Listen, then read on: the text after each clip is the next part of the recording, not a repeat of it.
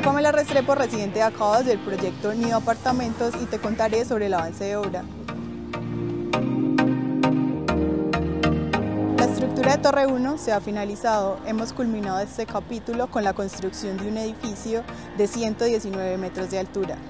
En este punto se instalaron 1.934.000 kilogramos de acero, lo que se compara con 57 tractocamiones. También se instalaron 14.442 metros cúbicos de concreto, lo que se compara con el volumen de seis piscinas olímpicas. En mampostería y redes internas tenemos un 90%, ubicados en el piso 34. Los morteros de piso se encuentran en el piso 29, lo que representa una ejecución del 74%. Los estucos se encuentran en un avance del 64% en piso 26. También nos encontramos aplicando segunda mano de pintura, lo que nos permite iniciar con la carpintería en madera.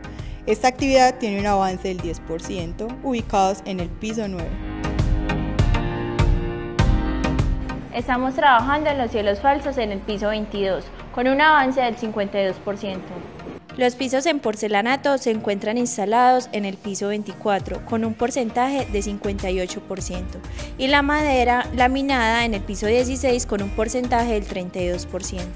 Nos encontramos instalando ventanería, la cual tiene un avance del 52%. En la plataforma de parqueaderos hemos terminado con la estructura. Ahora damos inicio a la mampostería en esta zona. En Torre 2 terminamos con la losa de piso 3, con un avance del 8%.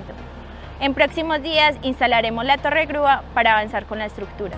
En el urbanismo interno nos encontramos trabajando en la estructura de ocupación de cauce, de las aguas lluvias y trabajos de redes.